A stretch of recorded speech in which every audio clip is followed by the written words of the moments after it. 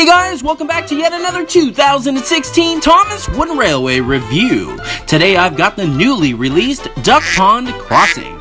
Retailing for roughly 45 US dollars, the Duck Pond Crossing is, well, let me have the official Fisher Price website explain it in all its glory. And I quote here The hungry duck is ready for a special treat. It crosses the track to get feed from McColl's feed and grain supply.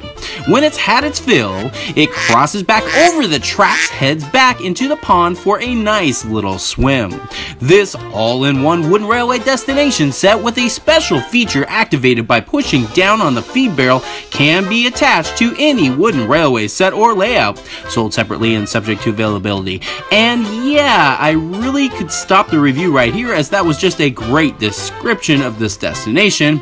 Anyways, back to a serious, non sarcastic review.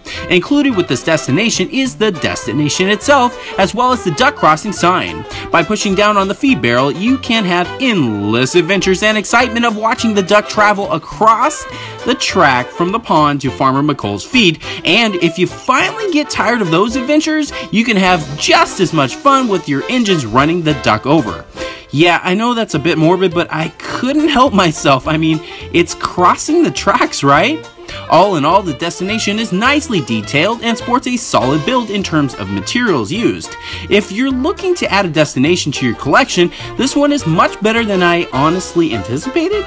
Plus, uh, who wouldn't want a destination with a bunch of spilled milk on it, right? Uh, yeah. Anyways, thanks for watching and stay tuned for more 2016 Thomas Wooden Railway reviews to come.